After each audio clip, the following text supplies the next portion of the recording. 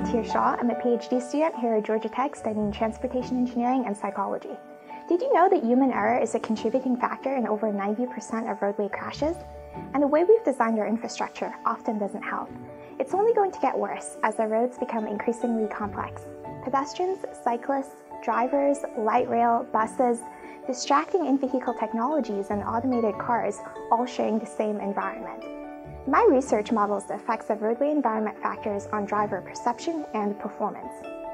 I hope that my work can help guide us towards increasingly safe, shared, and automated transportation systems. Oh, and another thing, please don't text and drive.